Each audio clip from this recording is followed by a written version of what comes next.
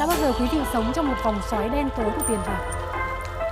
À, quý vị ngập chìm trong nợ nần. Hay là những hóa đơn hàng tháng khiến cho chúng ta đau đầu và cảm thấy rằng mình không thể thoát được ra?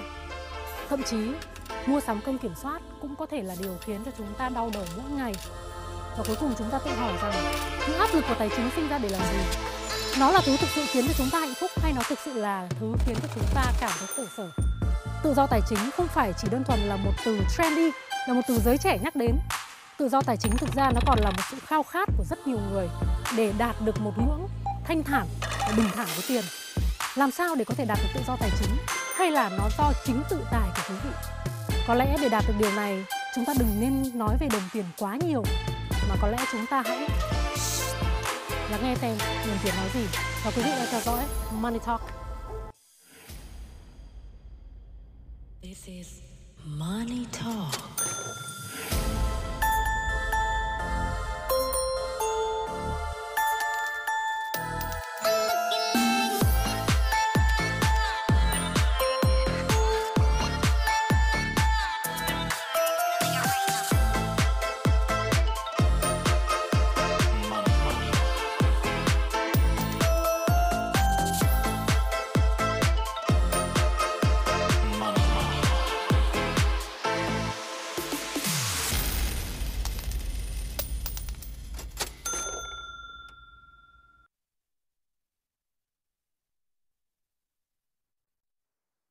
Một chương trình dành cho cá nhân một ai chỉ yêu mến và quan tâm đến tài chính hay kế toán. Nó là chương trình dành cho tất cả quý vị, tất cả những người ngày ngày giờ giờ vẫn phải sử dụng đồng tiền của mình và cũng hàng ngày hàng giờ đi tìm kiếm được sự tự do của mình trong việc chi tiêu và đơn giản hơn chỉ là tìm kiếm cho mình một tham vọng về tiền. Và chắc chắn là chương trình của chúng tôi sẽ có rất nhiều những điều thú vị chờ ở phía trước với những vị khách mời. Họ đã chấp nhận bay hàng nghìn cây số từ thành phố Hồ Chí Minh đến trường quay của Đài truyền hình Việt Nam để chia sẻ và để đem đến cho quý vị những góc nhìn thú vị và đặc biệt là những ý tưởng cho đồng tiền của quý vị. Hãy xem họ là ai nhé.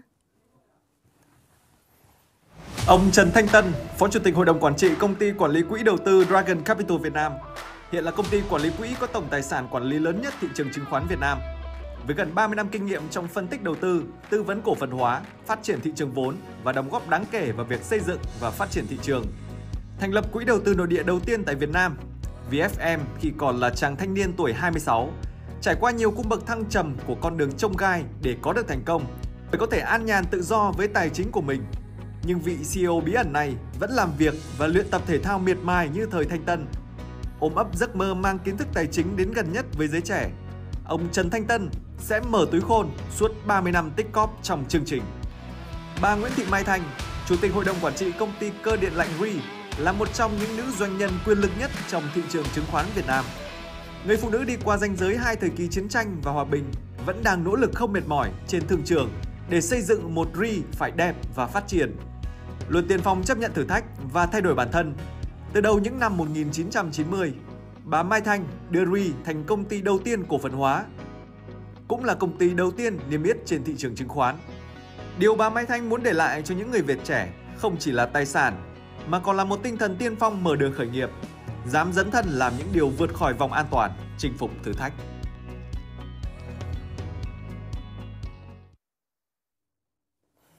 Cảm ơn các các chị đã tham gia chương trình ngày hôm nay. Thực ra có một con số mà tôi nghĩ rằng là đã có thể nói lên được sự tâm huyết của các anh các chị dành cho giới trẻ, đặc biệt là những giới trẻ quan tâm về tài chính. Đó là hàng nghìn cây số các anh chị đã chấp nhận bay ra đây à, trong một cái buổi tối mùa đông tại Hà Nội. Vậy thì con số nào là con số nói về cái cá tính của anh Tân và của chị Mai Thanh? Có lẽ là mình lady first, mình sẽ mời chị Mai Thanh. Con số nào sẽ là con số mà chị cảm thấy có ý nghĩa với chị và đó là chị? Mình ờ, mình rất thích con số 1 và mình quyết tâm chinh phục cho được con số 1 à, ờ, hồi nhỏ đi học mình luôn luôn thích làm toán là phải 10 điểm làm mà không được 10 điểm là xé cái bài tập. Ông thầy ông xuống ông thầy ông xuống ông dò đầu thôi sao con xé? Nói vì hôm nay con không được 10 điểm con xé. Khi đi vào chuyến khu cho dù vác gạo cho dù chích thuốc cho thương binh mình vẫn muốn là con số 1 có nghĩa là đàn ông vác 40 kg gạo 50 kg gạo thì mình cũng phải vác 50 kg gạo. Cho nên mình nó, nó không có cao mà nó lùn như thế này. Và chị nghĩ rằng là mình đã đạt được con số 1 trong bao lâu? Um, khi mà khi mà sau đó thì uh, mình đi học và về thì mình chọn cái công ty này là một công ty gần như là khởi đầu không có gì mà là một công ty nhà nước. Nhưng mà mình đã chọn nó bởi vì mình muốn mình mình tự xây nó lên. Và nó là một công ty quốc doanh. Và vì công ty quốc doanh thì mình không thể làm được cái gì nhiều. Mình phải báo cáo mình phải xin ý kiến. Cho nên mình mới đề nghị cổ phần hóa đầu tiên. Yeah. đó là công ty cổ phần hóa đầu tiên cũng là số 1 giấy phép số 1 và khi mà năm 2009 thì phải thì là khủng hoảng tài chính ở Thái Lan đúng không Yeah. thì ờ, mình thấy cái đồng bạc nó từ 25 ăn 1 đô la mà lúc đó nó khoảng 40 40 bạc ăn 1 đô la và nó lan qua nhiều nước và trong đó có Việt Nam. Thì ở Việt Nam lãi suất là 20 cho đến 25%. Thì mình mới nghĩ rằng là cái con đường để mình đi tiếp theo là gì? Chắc là mình không thể đi vay ngân hàng được. Và RI cũng là công ty phát hành trái phiếu đầu tiên Yeah. và DC chính là công ty đã giúp để để phát hành các trái phiếu ra quốc tế Yeah. mà cũng là công ty bảo lãnh Yeah. Như và vậy cũng là, là đầu tiên là, là số 1 đúng không? Dạ, như- Rồi đến năm 2000 thì mình nghĩ rằng ờ, trái phiếu là một hình thức để mình huy động vốn cho công ty thôi và bên cạnh cái vay ngân hàng thì mình nghĩ là thị trường chứng khoán lúc đó thì mình thấy là Việt Nam bắt đầu nói đến thị trường chứng khoán thì một nước sau chủ nghĩa mà nói đến thị trường chứng khoán thì nó cũng rất là mới lạ nhưng mà mình thấy cái nội dung của nó thì rất hấp dẫn Dạ. và đó là những cái điều mà doanh nghiệp kỳ vọng Yeah, như vậy là, là- cái số 1 Vĩnh Cửu Đúng, chính là, con cũng số là công đầu tiên nhận cái giấy giấy phép số 1 Dạ. niêm yết thị, thị trường chứng khoán Việt Nam. Chị Cho nên là đó những cái điều thích. mà số 1 mà công ty RI đã đạt được Yeah. và điều đó mình cảm thấy rất là rất là hạnh phúc về cái điều đó. Dạ. Còn anh Tân, anh Tân hình như cũng nắm giữ rất nhiều số 1 là số đầu tiên. Thế nhưng mà Ừ. liệu số 1 có phải là con số mà nói về anh không? Ờ, với anh thì ờ, nhiều cái kỷ niệm về con số 1 nhưng mà chị Thanh đã lỡ chọn số 1 thì anh không thể tiếp tục chọn số 1 Vâng. thì anh phải cố gắng tìm một con số nào khác và có lẽ như em nói ờ, như bạn Trinh nói thì Chắc là số 9 anh à. và chị Thanh bay hàng ngàn cây số ra đây nhưng thật sự ra bay chỉ có tiếng mấy à. Dạ. rất là đơn giản không bằng ngày xưa chị Thanh vượt Trường Sơn là học sinh miền Nam đi ra ngoài Bắc để mà mà học Dạ. thì à, anh là công ty quản lý quỹ có giấy phép đầu tiên nội địa là số 1 Dạ. rồi anh là người được cấp giấy phép hành nghề quản lý quỹ số 1 của Việt Nam Cũng là đầu là tiên luôn. của đầu tiên luôn Dạ. tuy nhiên à, như anh nói chị Thanh số 1 thì anh không chọn số 1 mà anh chọn số 1968 đó chính xác là số mà anh được sinh ra. Dạ.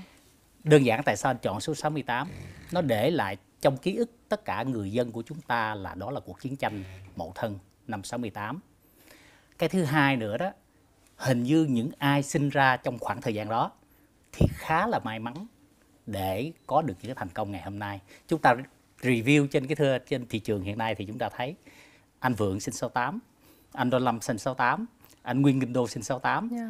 à, anh à, anh anh anh Nguyên Vinacap sinh 68 và anh sinh 68 thì trong tất cả những người cây đa cây đề 68 đó có lẽ anh là người nhỏ nhất. Dạ. Số 68 chắc chắn là một con số em tin rằng nó là dấu ấn.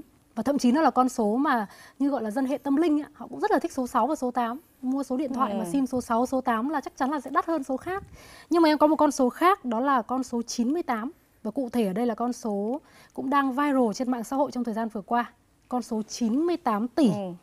98 tỷ tiền jackpot là một bạn đã trúng một cái con số ờ, sổ số lớn đến như vậy. Theo anh chị thì con số 98 tỷ liệu rằng có phải là con số giúp cho người khác đạt được tự do tài chính hay không? đó À, là một con số đó là một thực sự đó một con số không nhỏ nhưng mà khi mà bạn trúng số bạn trúng số thì một con tiền một cái khoản tiền nó đến bất ngờ chứ không phải là bạn đó là may mắn đó là may mắn. Thì à, lập tức cái bạn sẽ nghĩ rằng là mình cầm một số tiền như mình sẽ làm gì? Yeah. thì à, có rất là nhiều cách. Thôi bây giờ tiêu xài cho nó đã cái đã rồi mình sẽ tính đúng không? Có nhiều người nghĩ như vậy. Thì à, nó nó rất là có nhiều cách nhưng mà có lẽ là nếu mình nói về đầu tư đó thì nếu mà nói là trong giới đầu tư thì họ nói là ô cái khoản tiền này chắc mình phải đi đi đầu tư cái gì đấy để cho nó Dạ. sinh lời. Và nó giữ được cái số cái số vốn đó mà nó sinh lời. À, nhưng mà điều đó điều đó chưa chắc là đã thông minh Yeah. đúng không? Nhiều người ta nghĩ rằng à, bây giờ cũng có nhiều người nói 35 tuổi về hưu. Thì cái khái niệm đó thực ra mình cũng mình không thích. Bữa trước có nói chuyện với anh Tân thì mình thấy anh Tân cũng không thích cái khái niệm đó. Bởi vì à, mình nghĩ rằng à, làm việc cũng có rất nhiều điều thú vị. Dạ. Và làm việc thì mình cũng tương tác rất là nhiều và đặc biệt mình học hỏi được rất là nhiều có những thứ mình không học được trong, trong trường mà mình cũng không học được trong gia đình Dạ. mà làm việc tức là tương tác một cách mình học Dạ. cho nên là ờ, theo, theo, theo mình nghĩ thì lập, mình lập tức sẽ nghĩ nếu mà ở tuổi đó mình trúng đó thì mình sẽ lập tức mình nghĩ là mình sẽ đầu tư như thế nào đây Dạ. để để bảo toàn cái cái cái số tiền đó và mình phát triển nó lên rồi sau đó thì mình sẽ nghĩ tiếp coi mình sẽ làm cái cái việc gì nữa Dạ. mà mình cảm thấy là nó nó nó nó có rất là interest cho mình Dạ. thì thì đó là cái nghĩ Dạ. tiếp theo Có lẽ em cần một câu trả lời rất ngắn gọn của anh Tân thôi.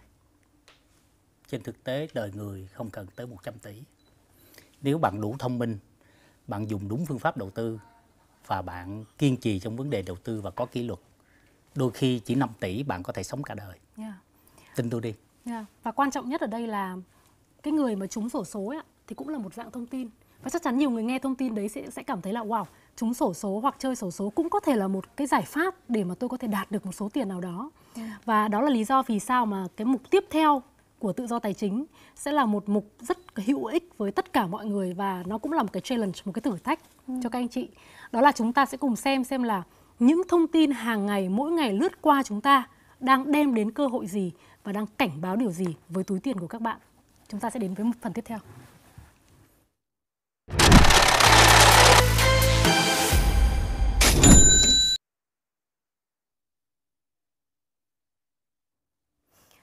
Và bây giờ chúng ta sẽ đến với à, tôi nghĩ rằng là tôi sẽ bắt đầu show ra một cái bức ảnh. Bức ảnh đó là bức ảnh à, mang tính thời sự, là điều mà bây giờ tất cả mọi người đang quan tâm và đang bàn tán về nó.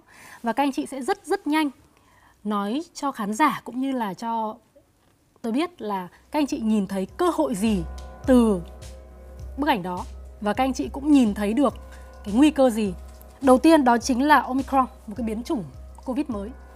Chị Mai Thanh nhìn thấy cơ hội gì khi mà nhìn thấy dòng chữ Omicron? nó là nguy cơ cho con người nhưng mà tôi cũng nhìn thấy cơ hội trong đó có nghĩa là chúng ta chúng ta xem trong cái thời khắc đó thì chúng ta làm được gì để mà có thể tìm những cái cơ hội mới qua cái này Cơ hội cụ thể đây là gì? Theo chị về mặt kinh tế, ngành nào sẽ là ngành có được cơ hội khi mà biến chủng này xuất hiện? chắc chắn là chắc chắn là ngành y tế ngành ngành ngành y nói chung là các dịch vụ về y tế là Dạ. một cái cơ hội và bào chế thuốc là một cái cơ hội đặc biệt là những cái thuốc mà sẽ giúp cho mọi người có thể có thể tự điều trị được Yeah. tự uống tự điều trị Vâng, được đó đó là là một cơ hội cho ngành y tế Anh Tân có nhìn thấy ngành nào khác có cơ hội với Omicron không?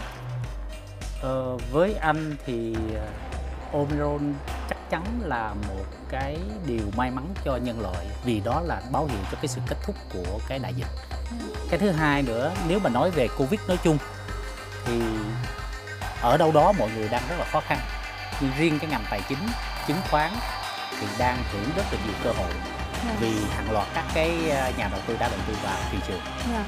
Bây giờ chúng ta sẽ đến uh, hashtag số 2 đó chính là Sarah Gilbert Mẹ đẻ của AstraZeneca và là người phụ nữ được à, bạn Thùy Tiên là bạn Hoa hậu rất là muốn gặp vì muốn gửi lời cảm ơn là bà đã cống hiến uh, sự tìm tòi đó cho nhân loại.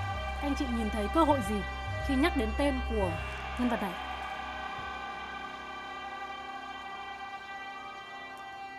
các nhà khoa học thì luôn luôn muốn tìm những cái điều cái điều mới lạ muốn khám phá phát minh ra những cái điều mới lạ thì đó là cái niềm hạnh phúc lớn nhất của các nhà khoa học thì tôi cho rằng là đây là một cái trường hợp nó đại diện cho cái khát vọng của những nhà khoa học Về mặt kinh tế thì chúng ta nhìn thấy cơ hội nào khi mà nhắc đến mẹ đẻ của AstraZeneca?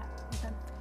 trên thực tế người phụ nữ này được xem như là một vị thánh bà phát minh ra một cái loại thuốc để điều trị cho cho cho cho covid để là một cái loại vaccine để điều trị covid và cứu nhân loại nhưng bà không nghĩ gì nhiều đến cái chuyện quyền lợi riêng của mình à, và chúng ta khi nói đến những người phụ nữ những người quyền lực và những người có ảnh hưởng của xã hội thì không chỉ nói về- đồng tiền Yeah. Như vậy thì đồng tiền ở đây không phải là giá trị tất yếu, đúng không nhưng nó là nền tảng Yeah. Chúng ta sẽ đến với hashtag thứ ba, mời anh chị. À, đó chính là một vị tỷ phú người Nhật tên là Yusaku Maezawa. Vị tỷ phú này à, tháng 1 năm 2020 đã tặng 9 triệu đô la Mỹ cho những người theo dõi Twitter của ông để làm cái thử nghiệm trên mạng xã hội. Các anh chị nhìn thấy cái cơ hội gì hoặc thậm chí bài học gì khi mà nghe về câu chuyện của vị tỷ phú này vung tiền trên mạng xã hội?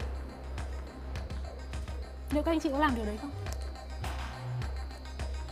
tôi nghĩ là ông này cũng là, đây là một cái cách để encouraging cái giới trẻ, tức là khuyến khích cái giới trẻ để làm một cái điều gì đó có ích cho cho xã hội và À. ông ta có đủ điều kiện. Ông ấy có đủ điều kiện để ông ta làm điều đó. Và ông ta muốn muốn encouraging giới trẻ. Mỗi mỗi một người à, đã đạt được một cái vị thế về tiền bạc trong xã hội thì họ đều có một cái sự đặc biệt riêng. À, việc vung tiền theo cách nào đó để tạo cái sự ảnh hưởng trong xã hội là một cái cách làm của từng người. Tuy nhiên với vị tỷ phú này cái điều mà tôi thích nhất đó là quyết định bay lên không gian đó là Dạ. điều tôi thích nhất Và tôi cũng biết là hình như anh Tân cũng có ý định đó đúng không?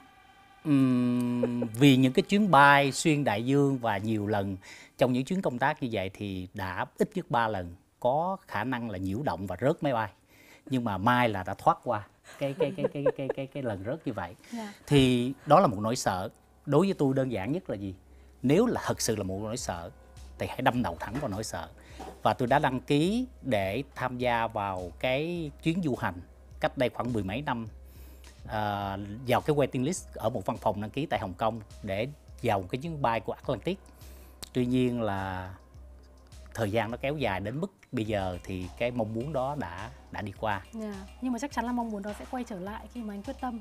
Chúng ta sẽ đến với một cái hashtag tiếp theo và có lẽ là hashtag cuối cùng trong chương trình. Một uh, cái tên mà thực sự giới trẻ đang xôn xao, Estic Coffee. Hàng trăm nhà đầu tư đã than khóc khắp nơi bởi vì đây là một dự án gọi vốn cộng đồng vỡ bong bóng. Và founder đã mất tích bốc hơi với 200 tỷ đồng. Các anh chị à, nhìn thấy được cái cơ hội gì nhìn thấy được cái cơ hội gì với một cái mô hình mà khiến cho nhiều nhà đầu tư sẽ càng cảm thấy bất niềm, mất niềm tin hơn với ba cái từ đó là kêu gọi đầu tư chúng ta nhìn thấy cơ hội gì ạ anh Tân thực tế đó đây là một cơ hội rất là lớn cho các công ty quản lý quỹ chuyên nghiệp. Rất là đơn giản là gì? Nếu bạn chỉ tham lam chạy theo cái cam kết lợi nhuận và không biết công ty đó làm gì như thế nào và không được pháp luật bảo vệ thì bạn phải trả giá. Và chúng ta có thể nhìn thấy rất là rõ nếu làm đàng hoàng tuân thủ pháp luật và chuyên nghiệp thì cái việc những cái cái cái cái cái cái cái cái cái, cái problem trên thị trường đại loại như vậy sẽ là cái tiền đề để các nhà đầu tư nhìn nhận lại cái cách đầu tư của mình. Chị Mai Thanh thì sao ạ? Tôi nghĩ đây là cái tip ờ, cái tip nhà đầu tư là thích là high return thì phải chấp nhận high risk. Cái tip này cũng rất là đặc trưng. Và trong quá khứ cách đây mấy chục năm thì Việt Nam cũng có như là Nguyễn Văn 12 hay là cái gì nước hoa thanh hương người ta nhận tiền gửi rất là cao. Và cuối cùng thì những người đến sau cùng á, thì mất. Dạ. và cái chương trình bán hàng đa cấp cũng giống như vậy Vâng. à, tuy nhiên thì cái này có lẽ là một cái mô hình mà cái này là đúng là ở Mỹ đúng không cái này của Việt Nam luôn của Việt Nam luôn hả của Việt Nam luôn mà bây và giờ bạn ấy rất trẻ và cậu này là mất tiêu luôn. mất mất tiêu luôn mất tiêu luôn Thật ra thì um, tôi nghĩ rằng um, trong sâu thẳm tất cả những người mà gọi là đi đầu tư ấy, thì bản chất là đưa, đưa tiền cho một bên nào đó và mong rằng là bên đó có thể đem lại được cái lợi nhuận cho mình. Và somehow đó chính là một cái cách để mình cảm thấy rằng mình là ông chủ. Tôi không cần làm gì hết, có người đi cày cuốc để mà kiếm tiền cho tôi. Và đương nhiên cái câu chuyện làm chủ hay làm thuê cũng là một vấn đề mà có lẽ chương trình đang muốn đặt ra để mà hỏi anh chị. Bởi vì bản thân anh chị cũng là người nằm trong cái vòng xoáy đó. Từng đi làm thuê sau đó lại làm chủ. Sau khi làm chủ xong lại quay trở lại cái vòng xoáy là chúng ta lại đi làm thuê. Và đó sẽ là cái chủ đề lớn nhất trong chương trình ngày hôm nay. Cũng là câu hỏi lớn nhất mà tất cả các bạn trẻ đang cần phải trải, trải qua. Và trong đấy tôi cũng đã từng đặt ra câu hỏi như vậy và bây giờ chúng ta sẽ cùng đến với chủ đề chính và cũng rất mong là anh chị sẽ cùng theo dõi xem là các bạn trẻ quan điểm như thế nào về làm thuê và làm chủ xin mời anh chị cũng như quý vị hãy cùng theo dõi đoạn băng ngay sau đây chúng tôi vừa mới làm trong ngày hôm qua thôi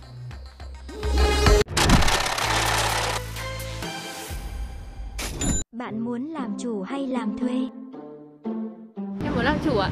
À, vì sao mà em muốn làm chủ? rõ ràng thì ai cũng muốn làm chủ nhưng mà cũng phải tùy thuộc vào khả năng của bản thân mình như thế nào. Nếu mà tất cả mọi cái ai cũng muốn làm chủ chứ không phải riêng anh. Anh không muốn làm thuê cho một người khác. Tất nhiên là mọi người đều hướng tới là việc làm chủ rồi chứ làm sao mà làm thuê được. Có thể làm thuê thời gian đầu cũng được nhưng mà tất cả các hướng công ty hướng tới đều phải làm chủ hết. Thứ nhất là chủ có chứ cuộc sống mà ai cũng muốn làm chủ. Làm chủ hay làm thuê á không không muốn làm chủ rồi. Không không muốn làm chủ rồi làm thuê tức là đi giúp mọi người ấy thế còn làm chủ thì sao cũng không thích nhất định không thích làm chủ nào chuẩn bị nhá nhìn sang trái nhá chuẩn bị nhìn sang trái này nào nhìn nhìn đầu kia đi một hai ba nhìn sang trái Vì sao lại thích làm chủ hả em? Để có nhiều tiền chị ạ. Em sẽ tạo được nhiều giá trị hơn, cấp được nhiều công việc cho mọi người. Mình còn là người truyền cảm hứng cho những người khác nữa. Em sẽ không gò bó và không phải dưới quyền bất kỳ ai cả kiểu cái bản thân mình có thể được thoải mái hơn được về mặt chi tiêu thời gian. Anh mong tất cả các bạn trẻ nên làm chủ. Làm chủ trước tiên là chủ chính bản thân mình. Đấy, và chủ của xã hội.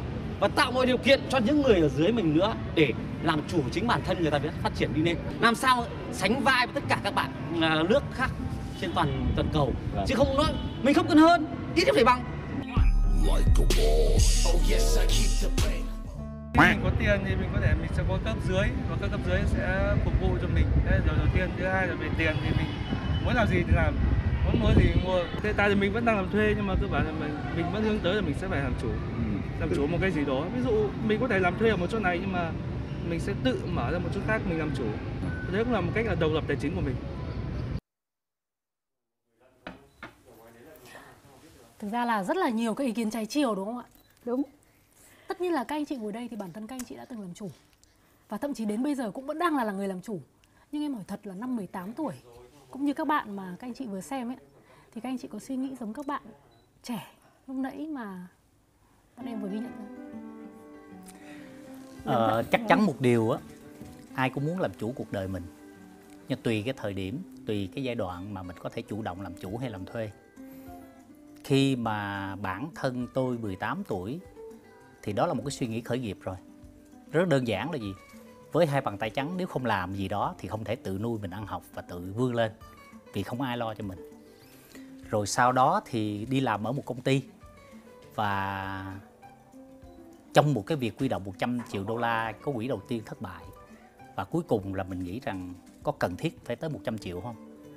Và tôi cùng anh Dominic quyết định thành lập công ty Dragon từ năm 94 khi tôi mới 26 tuổi thì thời điểm đó thật sự khái niệm chủ hay thuê không có chỉ là đi theo đuổi cái đam mê của mình và ở đây tôi vẫn thấy rằng nếu một khi bạn yêu thích công việc chạy theo đam mê thì tin tôi đi bạn sẽ một ngày nào đó sẽ làm chủ Chị Mai Thanh thì nghĩ sao? ạ?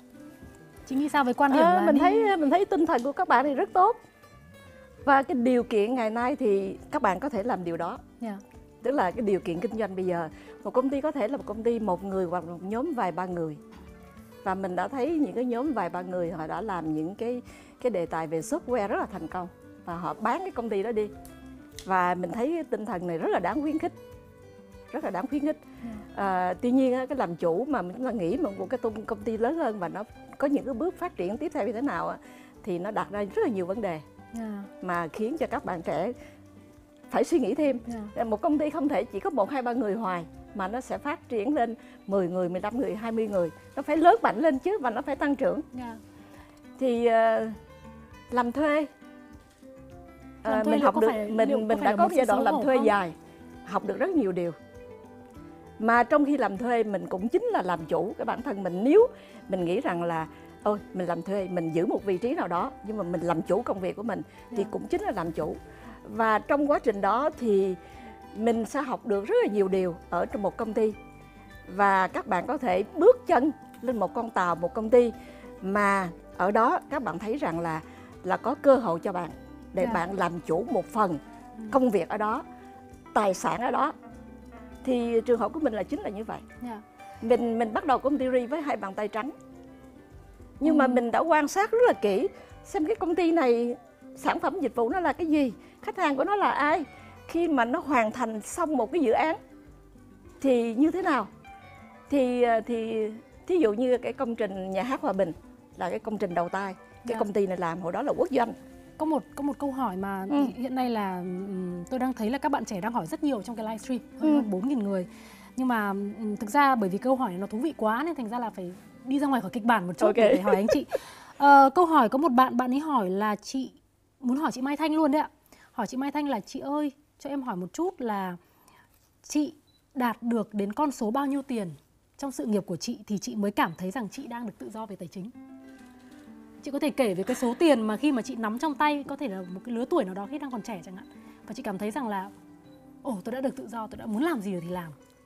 Giống như cái cách mà các bạn trẻ đang định nghĩa về tự À, do. Cái câu hỏi cái câu hỏi của em khiến cho chị rất là thích đấy. Chị thích rất là thích câu hỏi này bởi vì ờ, khi mà chị bắt đầu công việc đó chị chị không nghĩ đến tiền. Và chị cũng chưa bao giờ đến gặp ông giám đốc nói rằng tôi làm nhiều quá tại sao trả lương cho tôi thấp? Tại sao thưởng cho tôi thấp như vậy? Mà mình thấy mình được rất là nhiều trong quá trình mình làm việc. Và mình đã ờ, mình đã mình cái đó chính là cái giá trị mà mình thu nhận được nó còn hơn là tiền và chính điều đó thì sau khi làm việc ờ, chị làm việc 4 5 năm gì đó Dạ. thì được ông giám đốc ông gọi lên tại vì mình thường xuyên hỏi những câu hỏi tại sao mình làm cái nhà hát hòa bình xong mà mình không lấy được tiền chú Dạ. thì chú chú gãi đầu thôi thì một ngày nào đó mà mình chỉ làm việc thôi mình không bao giờ nói là tiền lương của cháu sao ít vậy hay là tại sao chú thưởng cho cháu không không không xứng đáng với công Dạ. mà thực mình làm cho dù việc nhỏ nhất mình vẫn làm phải là số 1 mới được Dạ. Vẫn là thì một ngày một. đó thì chú gọi lên thì Mai Thanh cháu có muốn thay chú làm giám đốc hay không ôi trời ơi ngạc nhiên vô cùng Ừ. đó cho nên là các, là- các bạn trẻ phải hiểu ra- rằng là đừng có đòi hỏi nhiều đừng có đòi hỏi nhiều mình phải làm việc tốt Dạ. mà chính cái đó chính là mình tạo cái giá trị cho mình để mình bắt đầu làm chủ Dạ, vậy thì bây giờ như thế này, có lẽ là vì đang có quá nhiều câu hỏi khán giả đang muốn hỏi, thành ra là bây giờ à, chương trình đã chuẩn bị ba cái hình mẹ rất là đáng yêu. Và ừm, ừm, thực ra thì à, tôi cũng không thể nào mà giúp khán giả chỉ định được, cho nên là bây giờ mà anh Tân hay chị Mai Thanh mà ai mà rơi cái biển này ra trước thì sẽ là người trả lời trước được không ạ? Ừ. Được, À, được. chúng ta đi chữ- ai nhanh tay. Có một câu hỏi của bạn Quyên là cô chú đã lớn lên từ lời chê nào và chết vì lời khen nào? Lớn lên vì lời chê nào và chết vì lời lời khen nào Dạ. Ai sẽ là người trả lời trước ạ? đây là một câu hỏi rất là câu hỏi rất Khó. là mới lạ đó và mới lạ rất là mới lạ Ờ, về cơ bản á, thì tôi thấy là khi mình từ từ nhỏ mình lớn lên thì phần lớn bị chê hơn là được khen trong một cái chế độ câu, giáo dục câu, câu, câu chê nào mà khiến cho anh cảm thấy rằng là nó khiến cho anh tốt hơn mỗi ngày hãy cho em một cái Ờ. câu chê cụ thể ạ. Một cái câu nói của người bạn của anh Dạ. nói là anh anh khuyến khích người bạn đó bồ mới bỏ tại sao mày phải cạo đầu Ừ. mày có gia đình có nhà cửa có xe tao sinh viên nghèo không có tiền ăn cơm thì mày hơn tao Dạ. thì người bạn đó liếc mắt nhìn anh một cách gọi là rất Dạ. là khó chịu và nói nói một câu hơi hơi kỳ nói được không Dạ. Vâng, sẵn sàng ạ. nếu so với mày tao so làm mẹ gì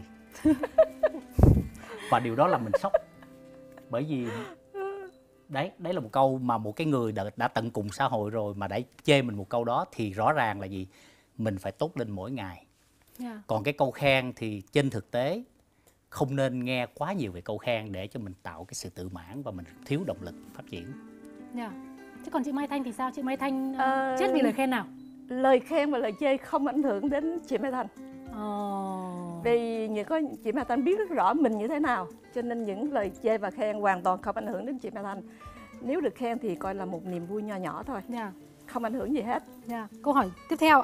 Chắc là chúng ta sẽ phải rất nhanh tại vì là thời Đúng gian rồi. của chúng ta có hạn và câu hỏi rất Ừ. nhiều. Có một câu hỏi đang muốn hỏi ờ, cụ thể hai hai hai anh chị là cháu chào cô chú, cháu ờ, là fan của crypto. Các cô chú có tham gia đầu tư vào tiền điện tử không ạ? Có Có luôn ạ. Cụ thể như nào ấy? mua một đồng để đó bởi vì cái ngành tài chính không những đầu tư chứng khoán đầu tư bất động sản đầu tư tất cả những cái gì được gọi là đầu tư đầu tư khi mình đầu tư mình sẽ có một cái trải nghiệm và mình hiểu về nó Dạ. bởi vì đó là xu hướng Dạ. và một cái nhà đầu tư một cái nhà quản lý quỹ trên thị trường mình phải thật sự hiểu nó là gì có thể thành công thất bại nhưng mình phải biết Dạ. Chị Mai Thanh thì sao? không mình chưa hiểu biết nhiều về nó Nhưng mà và cảm thấy chị- cảm thấy không có nhiều niềm tin. Chị chị cũng bởi vì à, cái đồng tiền đó bị à, bị pushing và tác động quá nhiều. Nhưng mà bởi vì em em cảm thấy là chị Mai Thanh là một người rất là quan tâm đến công nghệ chẳng hạn hoặc là vì, vì chị đã tham gia vào lĩnh vực điện lạnh từ có cái thời kỳ rất là tâm sớm. có quan tâm đến công nghệ nhưng mà mình phải dành nhiều thời gian lắm để mà mình theo dõi nó. Vậy bây giờ thời gian của chị đang dành nhiều nhất à cho việc thời gian thì à, vẫn là nhìn ri thôi. Nhìn ri thôi đúng không? Um, ôi có một câu hỏi này dành cho anh Tân là à, chú ơi cho cháu hỏi chú có đầu tư vào mã cổ phiếu của cô Mai Thanh không ạ có chắc chắn trên thực tế như chị Thanh à, vừa chia sẻ Dạ. à, Dragon Capital cùng với chị Thanh là đã đầu tư cái cái cái cái quỹ à, cái cái trái phiếu quốc tế đầu tiên đúng rồi và nếu chị 5 nhớ triệu đô không la lầm phát hành trái phiếu 5 quốc triệu tế. đô la một doanh nghiệp của Việt Nam phát hành ra thị trường quốc tế Đầu do tiên. Dragon Capital Dạ. Ờ, bảo lãnh bảo lãnh và nếu chị nhớ không lầm á, đại diện cho bên Ri là công ty luật Freshfield, đại diện Freshfield. cho Dragon là công ty luật Baker McKenzie và đấu tranh mãi cho tới 2 giờ đêm hợp đồng được ký. bởi vì biết rằng DC là một công ty quốc tế cho Dạ. nên là ri phải thuê luật sư nước ngoài là công ty Freshfield Dạ. để để mà để mà thương thảo một cái hợp đồng Dạ. phát hành trái phiếu bảo lãnh phát hành trái phiếu đó Và cái bí mật lớn Và nhất đến 2 3 giờ đêm thì cái hợp đồng mới được ký kết. Cái đó vào năm 1970 năm 1986 năm và, 86. và câu trả lời là có đúng không ạ Có. Dạ. một câu hỏi của bạn Quang Hải bạn ấy hỏi là tôi biết anh chị là chủ của rất nhiều người với ai đang là ông chủ của anh chị nhà đầu tư. Dạ. còn chị Mai Thanh thì sao ạ? Ờ, mình không có ông chủ. Chính mình là làm chủ mình, mình không có ông chủ. Thật ra có cái câu chuyện là vì sao lại ờ, nhắc đến làm thuê làm chủ bởi vì là sau trận Covid vừa rồi á thì rõ ràng nó có một cái sự chuyển dịch rất lớn trong tâm lý của nhiều người. Có những người đang đi làm chủ và đương nhiên là ảnh hưởng về kinh doanh cho nên là họ quyết định phải đi làm thuê để trang trải cuộc sống. Và đương nhiên là có rất nhiều những người cũng đang đi làm thuê nhưng mà sau khi work from home, sau khi ờ, công việc bị ảnh hưởng vì Covid cho nên là họ quyết định có thể đứng ra để làm chủ ở nhà bán hàng online và cảm thấy là Ừ. ở cuộc sống của tôi khá là thuận lợi và thoải mái. Nên cái câu hỏi rằng xé giữa việc làm chủ hay làm thuê là câu hỏi cực kỳ lớn mà nhiều người quan tâm. Và có vẻ như là có một khán giả sẽ muốn gọi điện trực tiếp đến anh Tân và chị Mai Thanh để muốn có được cái lời tư vấn thực sự xác đáng nhất. Và tôi nghĩ rằng là tư vấn thì thì thì hơi quá nhưng mà chính xác đây là muốn các anh chị cho họ một cái ý tưởng để Ừ. họ có thể đạt được sự tự do tài chính và Ừ. quan trọng nhất là họ tìm được ra cái con đường của họ đó là họ sẽ nên chọn con đường đi làm thuê hay làm chủ. Vậy thì à, ban biên tập có vẻ như là đang kết nối với nhân vật này. À, vâng ạ. Dạ. Vâng, có phải chị Trang đúng không ạ? Có phải chị Trang chị đã đăng ký à, tham gia muốn à, đặt câu hỏi trực tiếp cho guru của chương trình à, à, đúng không ạ? À, đúng rồi, à, đúng rồi bạn ạ. Vâng. Mình à, đang có câu hỏi muốn hỏi chương trình ạ. Dạ vâng ạ. Vâng, chúng tôi đã sẵn sàng, xin mời chị. À, xin, xin xin gửi lời chào tới chương trình. Chào ông Trần Thanh Tân và bà Nguyễn Thị Mai Thanh. Ờ, cũng rất hay là cái chủ đề chương trình của ngày hôm nay lại cũng đúng là một cái vấn đề mà tôi đang rất là băn khoăn. Uh, trong 2 năm Covid vừa rồi thì tôi có làm hiện tại tôi đang làm thuê ở công ty về truyền thông và ý, tổ chức event. Tuy nhiên thì vì dịch Covid nên công ty của tôi ảnh hưởng rất là nhiều. Chính vì điều đó mà cái thu nhập của tôi trong gần như là trong à, hơn một năm vừa qua uh, giảm sút nghiêm trọng. Thì trong đúng trong cái thời gian này thì vợ chồng tôi cũng đang băn khoăn là mình có nên vì là như thế nên mình có nên đi ra ngoài làm không? Có nên tự mình mở ra làm riêng hay không? Ờ, bởi vì nếu như mà với một cái số tiền ờ, vốn ít ỏi mà vợ chồng tôi đã tiết kiệm được ấy, nếu như bây giờ ra làm thêm thì có vẻ là hơi mạo hiểm nhưng biết đâu trong tương lai thì chúng tôi có thể tự do về tài chính. Nhưng cũng tôi cũng đang băn khoăn là mình có nên ở lại khi mà cái thời buổi khó khăn như này thì dù sao hàng tháng tôi cũng có một cái ờ, đồng lương cố định. Và cái điều này thì tôi đang rất là băn khoăn và cũng rất mong là chương trình có thể tháo gỡ phần nào giúp tôi. Dạ. Cảm ơn câu hỏi của chị Trang. Chắc là chị cũng vẫn phải giữ máy bởi vì là anh Tân và chị Mai Thanh sẽ là người à, tư vấn trực tiếp cho cái cho cho cho cái câu hỏi của chị và chắc chắn là chúng tôi sẽ cần những cái những cái thông tin cực kỳ chi tiết về chị. Cái số tiền nhỏ mà chị đã tích góp cụ thể đây là bao nhiêu?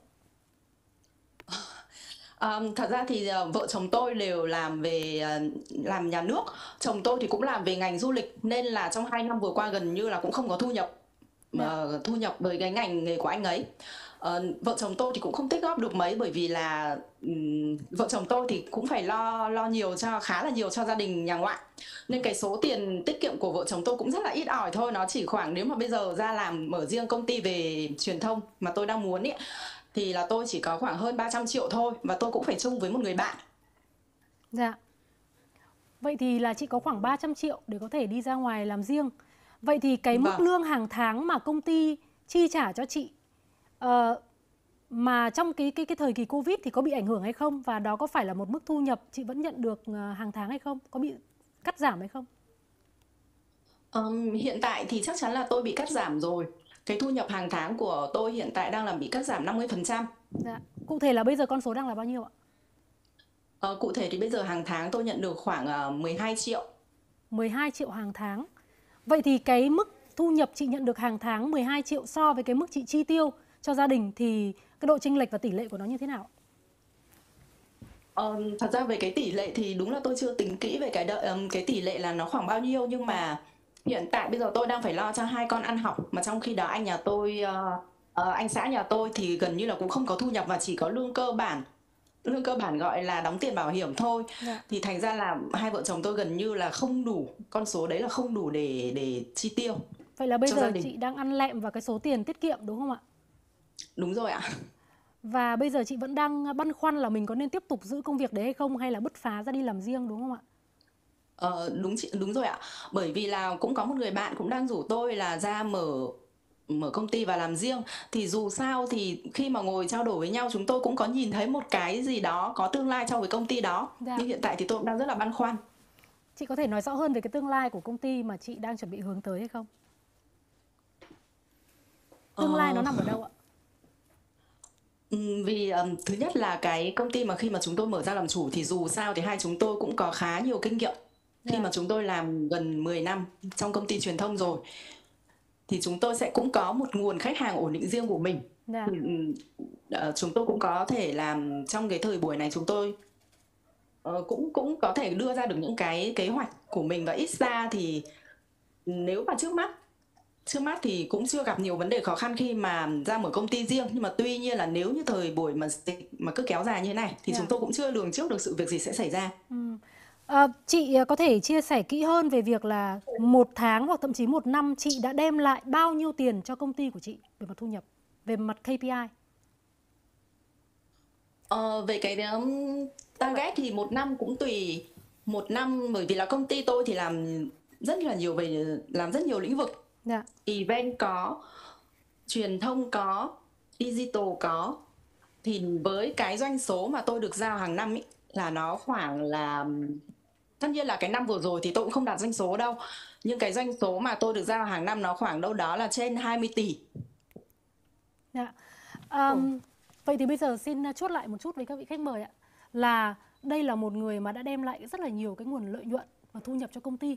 Và chị ấy là người rất là tự tin trong việc là tôi có thể đi ra ngoài làm riêng. Và bây giờ cái mức lương hàng tháng đang không đủ để chị trang trải cái số tiền cho gia đình.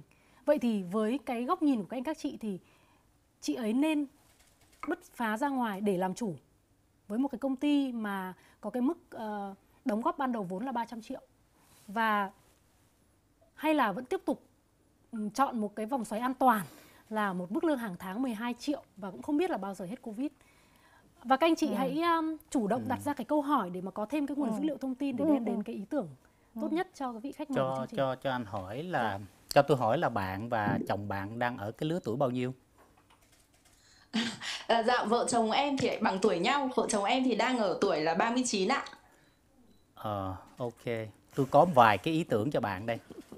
Dạ. À, thứ nhất á, à, vợ chồng bạn đang ở lứa tuổi à, khoảng 40 uh, ông bà chúng ta có một cái câu là tam thập nhi lập mà tứ thập thì lập thân là ở cái tuổi đó bạn phải định vị ở một cái vị trí nào đó hoặc ông hoặc thằng. Dĩ nhiên bạn khởi nghiệp ở bất cứ tuổi nào cũng được. Nhưng bạn có thể hình dung thế này nè. Ờ, người Việt Nam có câu là cơm áo gạo tiền.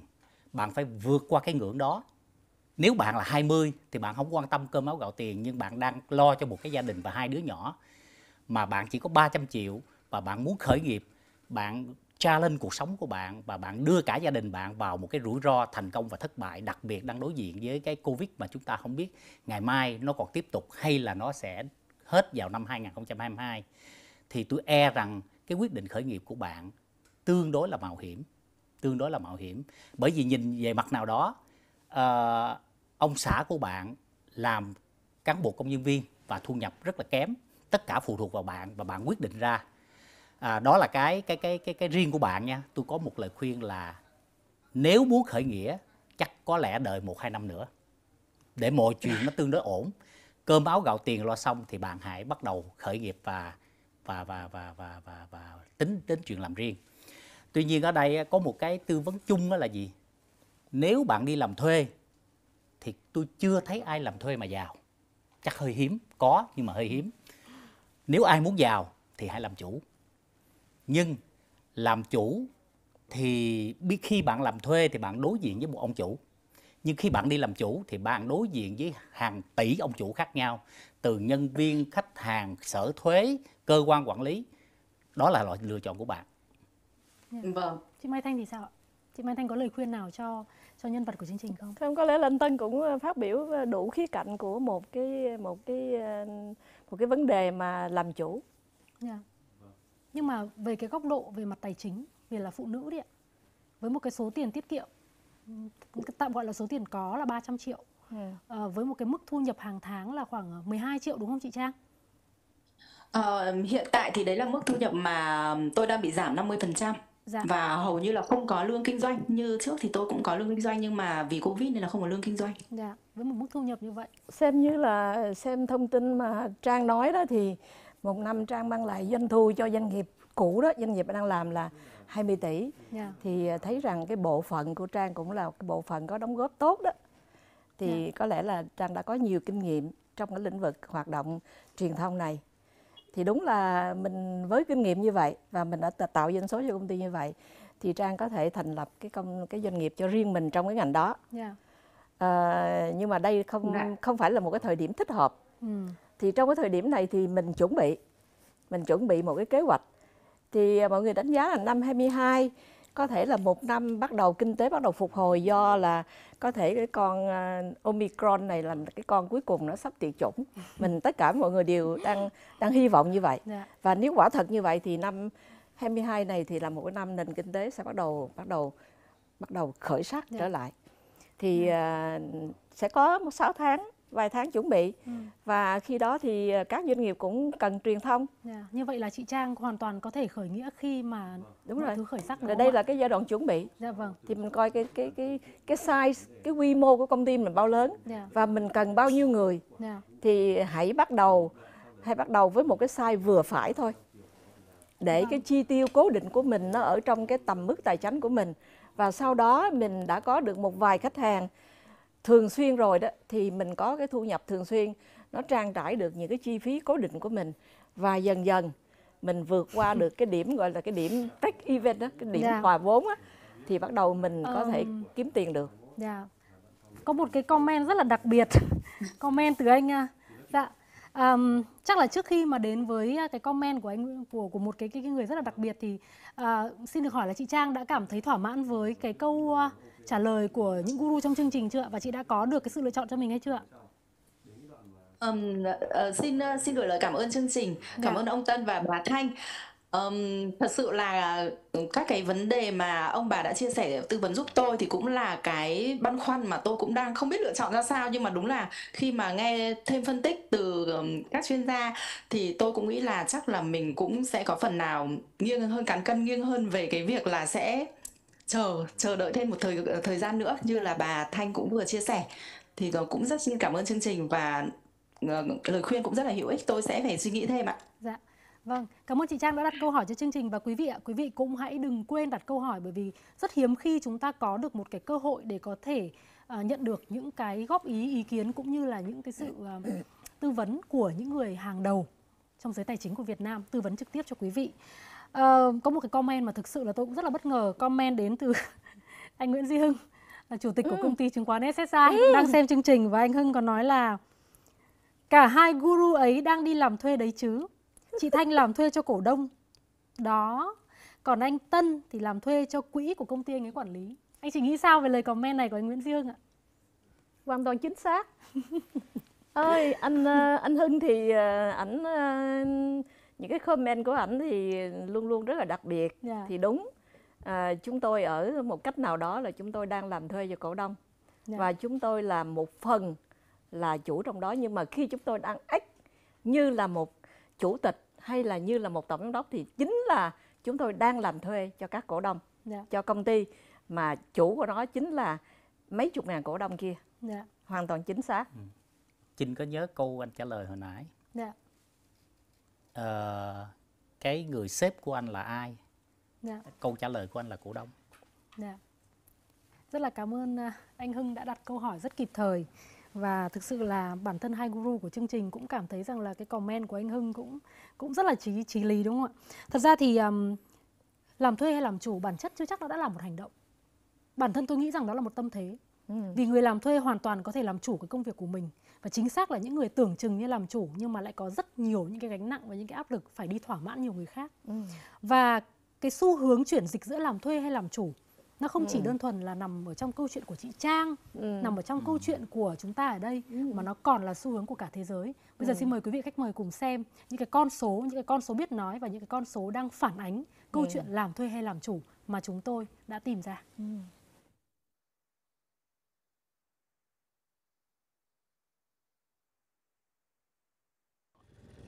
tên là Phạm Xuân Dư.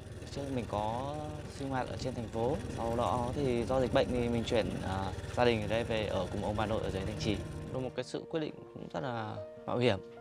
Bởi vì nếu như mà mình mà không thực hiện được nó thành công ấy, thì mình lại phải bắt đầu lại từ đầu.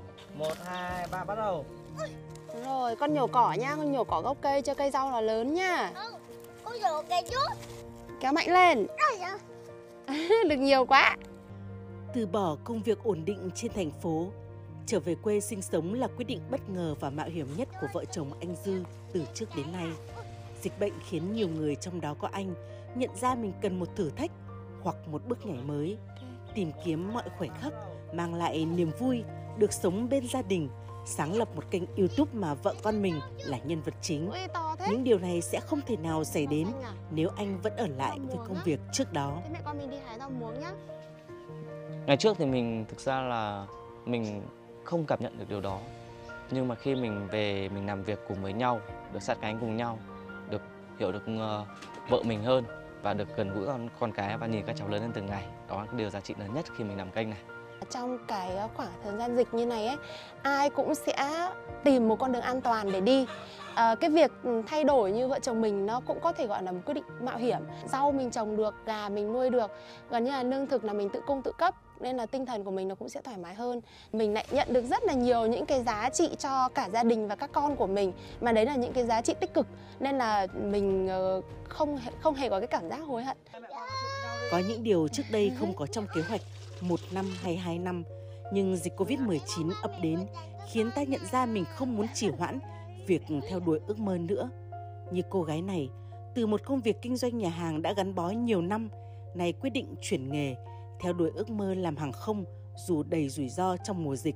Em đi làm em cảm thấy rất là chán nản, mệt mỏi. Thì Mình đi về nhà mình nghĩ lại là Ồ, tại sao mình lại như thế? Với niềm yêu máy bay của em thì em vẫn quyết định là thi vào ngành hàng không mặc dù là em biết là mình sẽ phải đối mặt với rất là nhiều khó khăn. Đúng là mình chỉ sống một lần trên đời vì vậy nên là mình cũng nên hết mình với thứ mà mình muốn và mình cũng phải làm việc hết mình với nó. Đại dịch giống như một phép thử sức chịu đựng của mỗi người. Có một số điều kiện làm việc lâu nay ta nghĩ mình có thể chịu đựng được, nhưng giờ đây ta không thể. Dịch bệnh đã thay đổi các ưu tiên của họ và họ nhận ra rằng mình không cần thiết phải sống mãi như thế. Một câu hỏi muốn hỏi cả anh Tân và cả chị Mai Thanh là ngày xưa ấy, là cái xu hướng là từ quê lên thành phố để tìm kiếm một cơ hội. Và chắc chắn là cái thời đó thì anh Tân và chị Mai Thanh đã quá quá hiểu. Nhưng mà đến bây giờ thì người phố lại có vẻ như muốn về quê để làm chủ cuộc đời của mình. Chúng ta sẽ có cái bình luận gì cực kỳ ngắn gọn về cái xu hướng này. đó chính là cái cơ hội mà đại dịch đã mang lại cho rất nhiều người đã rời bỏ làng quê đến nỗi làng quê bây giờ không có người để làm làm vườn, làm ruộng, làm tất cả những việc ở đồng quê và chính là cái đại dịch nó đã tạo một cơ hội lớn cho tất cả những người này và anh anh chàng này là một anh chàng anh đã quyết định mạo hiểm nhưng mà đó là cái cơ hội Vâng. đó là cơ hội lớn cho anh và thực sự anh đã tìm thấy một cái giá trị một cái nguồn lực mà lâu nay nó đang chìm đang chìm dần Vâng. do cái xu thế xu thế đô thị hóa và cái xu thế mà đi về thành phố Dạ. để tìm việc làm Vâng, anh Tân nếu có 5 Ừ. từ để nói về cái này hoặc thậm chí là ngắn hơn, anh sẽ nói gì về tôi Câu chuyện không rồi. đồng ý vì sao? vì sao lại không đồng ý ạ? rất là đơn giản ờ, chúng ta đang rất là thiếu hụt lượng lao động để tái khởi động lại nền kinh tế đang bị đứt gãy chuỗi cung ứng và đang có nguy cơ mất đi các đơn hàng trong khi đó cái người lao động từ thành phố vì sợ đại dịch chạy về Dạ. rồi bây giờ họ chỉ có quay lại thành phố một cái tỷ lệ nào đó thì nền kinh tế sẽ ảnh hưởng rất là nhiều Dạ. và cuối cùng chúng ta phải so sánh được cái giá trị được tạo ra bởi các hoạt động về công nghiệp và nông nghiệp như thế nào tôi nghĩ chính phủ sẽ là người cân đối với chuyện đó nhưng rõ ràng chúng ta đang khó khăn Dạ. Vậy thì um, sự khó khăn trong cái việc chuyển dịch về cái tư duy làm chủ với làm thuê này nó không chỉ có Việt Nam đâu mà tôi tin nó còn toàn cầu. Nếu các anh chị không tin thì mời các anh chị theo dõi con số sau. Xin chào các bạn, tôi là Tèo, năm nay 25 tuổi. Đợt dịch vừa rồi, theo tiếng gọi của chiếc bụng đói, tôi đã quyết định xây bay cuộc sống thành phố, bỏ việc để về quê. Mấy đứa bạn tôi, tí, tẹt, tùn tun, cũng nghỉ việc như tôi hết. Báo cáo thị trường lao động phổ thông trong và hậu giãn cách của việc làm tốt cũng chỉ ra rõ, cứ 10 người lao động về quê tránh dịch thì có hơn 4 người khẳng định sẽ không quay lại thành phố để làm việc. Đây là dịp để người lao động đánh giá lại cơ hội nghề nghiệp ở quê nhà để có cơ hội ở gần gia đình và người thân. Nên tôi chắc mấy đứa chúng tôi cũng chỉ ở quê nuôi cá và trồng thêm rau mà thôi. Mà hiện tượng bỏ việc lương cao để khởi nghiệp làm tự do hoặc về hưu sớm đang có xu hướng lan rộng trên toàn cầu. Khảo sát gần đây của Microsoft cho thấy hơn 40% người lao động trên toàn cầu đang cân nhắc nghỉ việc trong năm nay. Trong đó, đáng chú ý tại Mỹ là những người trong độ tuổi từ 30 đến 45.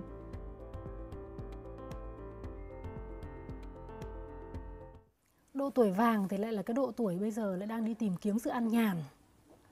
Các anh chị nhìn thấy nguy cơ gì trong việc này? cái đó là cái nguy cơ lớn cho các doanh nghiệp bây giờ mà với với những cái ngành nghề mà lao động sử dụng nhiều lao động Dạ, Anh Tân thì sao? như là ngành may ngành da giày Dạ. ngành xây dựng là đó là cái vấn đề của doanh nghiệp chứ không phải cái vấn đề của người lao động.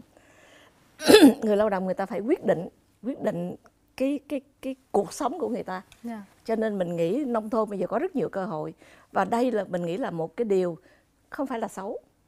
Nó là một cái điều tích cực để cân bằng giữa thành thị và nông thôn. Nông thôn đang không có người làm. Còn cái vấn đề của doanh nghiệp thì các anh phải tự giải quyết. Các anh phải phải đầu tư thế nào để để giảm cái lao động đi. Dạ. phải tự động hóa. Mình nói mình bây giờ đang 4.0 hả? 2.0 mình còn chưa xong. Tức là cơ khí hóa 3.0 là tự động hóa. Mình nhìn lại cái, nền công nghiệp của Việt Nam mình đâu chưa có đạt được hai cái đó. Dạ. tất nhiên là phong trào 4.0 tức là đi theo cái cái cái nền công nghiệp 4.0 tức là à, phải à, đưa đưa đưa IT vào. Dạ. thì cái đó là xu hướng. Nhưng mà chỉ một phần thôi nhưng mà nếu nhìn là các ngành công nghiệp của chúng ta thì sử dụng quá nhiều quá nhiều người lao động Dạ.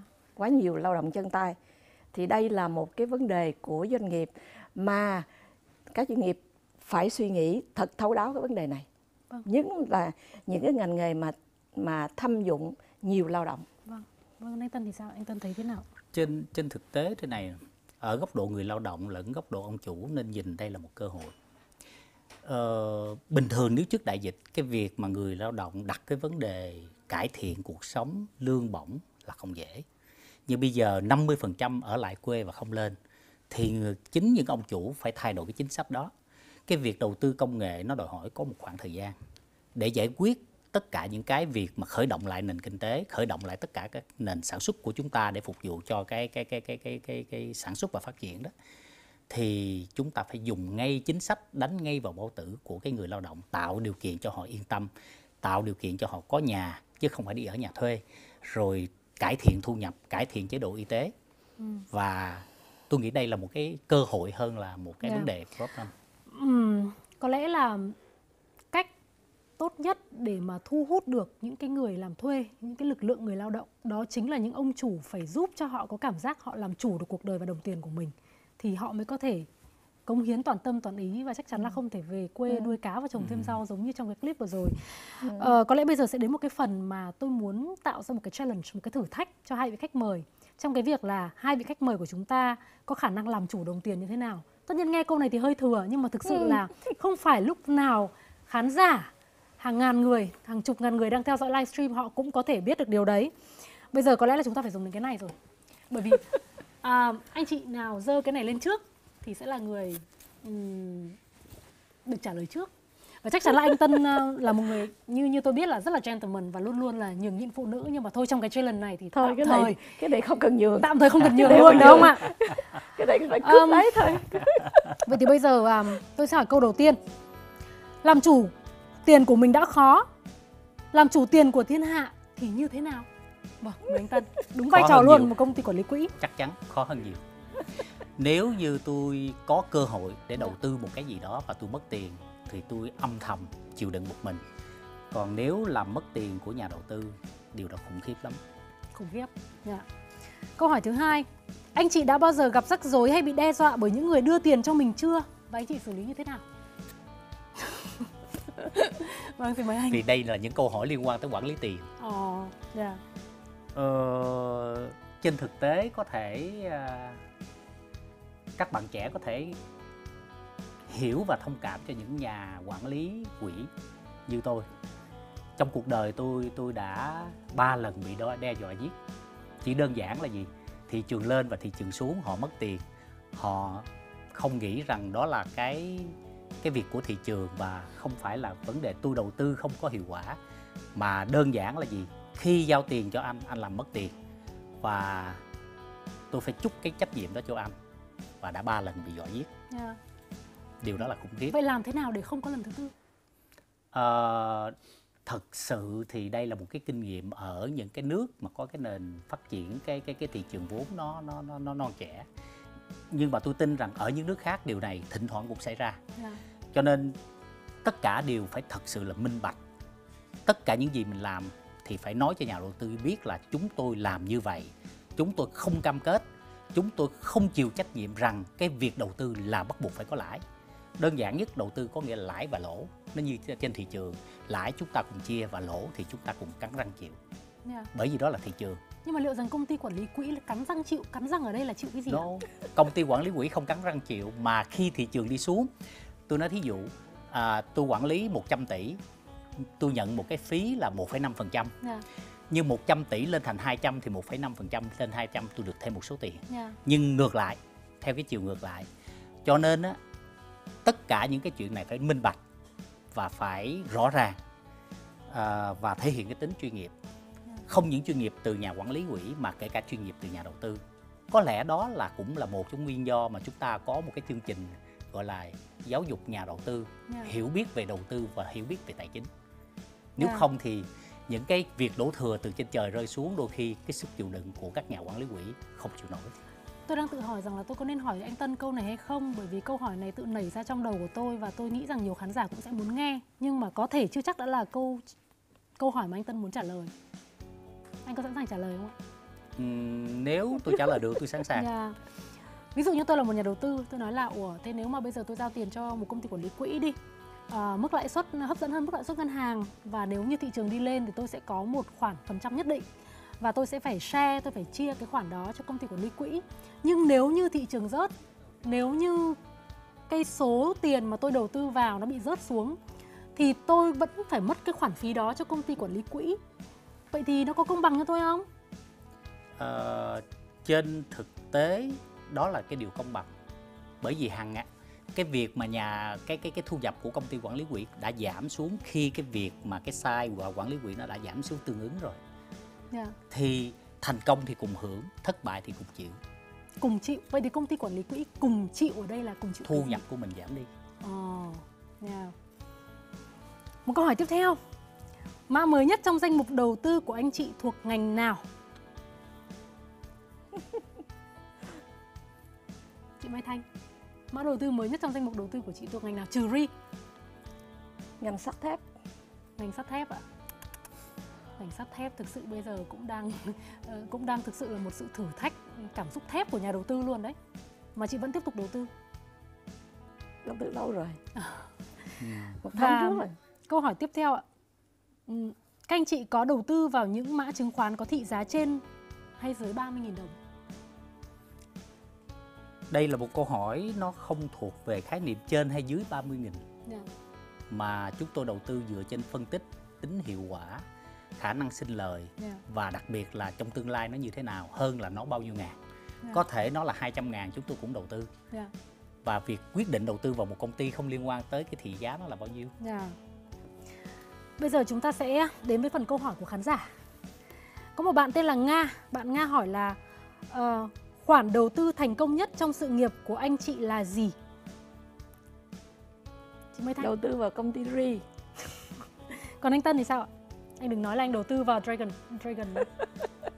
Ờ, điều này chắc cũng không sai Dạ. nếu các bạn biết là cái ngày đầu khi thành lập Dragon vào năm 2000 1994 á, cái số vốn của chúng tôi lúc đó là khoảng 30.000 đô la và hiện nay thì tài sản của công ty Dragon Capital sau gần 30 năm hiện nay chúng tôi tương đương khoảng à, 700 triệu đô Dạ.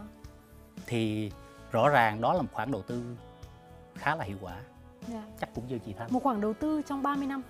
trong 30 năm dĩ nhiên là chúng tôi tiếp tục đầu tư chúng tôi tiếp tục bỏ tiền cũng giống như ri thì cũng tiếp tục đầu tư cái khoản vốn của mình Dạ. nhưng rõ ràng là từ một cái công ty khởi nghiệp với 30.000 đô la đầu tiên năm 1994 khi tôi 26 tuổi và những đồng nghiệp của chúng tôi thì bây giờ đó là một công ty có một cái tầm cỡ như vậy Dạ. và để được cái chuyện đó thì hiện nay chúng tôi đang quản lý tổng tài sản khoảng 7 tỷ đô la trên thị trường Dạ. Như vậy là khoản đầu tư thành công lớn nhất của anh chị chính là đến từ những đứa con tinh thần của các anh các chị. Đến từ những gì các anh các chị làm chủ. Vậy thì lời khuyên nào cho khán giả khi mà bản thân họ đang không làm chủ một điều gì cả, họ chỉ có một số tiền nhỏ để đầu tư? Thực ra là đầu tư vô cổ phiếu đó Dạ. nó đòi hỏi các bạn phải có một cái sự theo dõi. Thì à, mình mình nghĩ rằng là à, khi muốn đầu tư vào công ty gì, công ty nào thì sẽ có mấy yếu tố mà mình cần phải quan sát. Dạ. À, mình coi cái cơ cấu kinh tế của công ty đó là cái gì và cái cái life cycle tức là cái cái um, cái chu kỳ của cái sản phẩm dịch vụ nó như thế nào Dạ. là và tất nhiên là các cái chỉ số tài chính thì mình phải coi rồi phải Dạ. coi rồi nó rất nó rất là nó rất là cần thiết để chúng ta quyết định xem nó công ty nó nó đang hoạt động có hiệu quả hay không Dạ. Đó là một bí thì quyết tôi nghĩ là rất là quan trọng thì trong thì cái thì trong cái thời tư. điểm này thì à, người ta cũng hay nói cổ phiếu này cổ phiếu kia à, đang thế này thế nọ thế nhưng mà thực sự là à, khi mà trong mấy tháng vừa rồi có rất là nhiều F0 tham gia thị trường thì mình nghĩ là đây là một cái lực lượng nhà đầu tư rất là đông đảo. Và họ tham gia vô thị trường làm cho cái cái không khí của cái cái cái cái cái không không khí của thị trường nó rất là phấn chấn. Và vì nó có mấy yếu tố mà mình nghĩ các bạn đấy cũng là cũng rất là nắm bắt rất là kịp thời là vì sao? Là vì là à, thị trường chứng khoán Việt Nam trong một năm vừa rồi thì mình thấy VN Index nó tăng gấp đôi. Thế nhưng mà Việt Nam Index thì bây giờ VN Index bây giờ nó vẫn thấp hơn các cái nước khu vực như Dạ. là Thái Lan như là Malaysia hay là Indo Dạ. cho nên đó là các bạn đã nhìn vào chỉ, chỉ số tài chính và quyết định tham gia thị trường thì mình nghĩ là là một cái tín hiệu tích cực và các bạn cũng đã có những cái kiến thức rất là căn bản Dạ. để các bạn quyết định đi vào cái thị trường đó. Dạ. Tuy nhiên cũng tùy thuộc vào cái ờ, cái ừm, cái gọi là cái case pack tức là cái cái cái cái cái style của từng người, cái cái cái taste của từng người rằng là mình đầu tư ngắn hạn hay dài hạn. Dạ. là nó có rất là nhiều Yeah. cái cái cái cái taste của từng cái nhóm khác Đúng. nhau Và vì thế chúng tôi cũng có Đấy. một chương trình nữa. cho nên cho nên là cái vấn đề này khám thì phá cái điều này. thì mình nghĩ các bạn trẻ đang rất là quan tâm Yeah.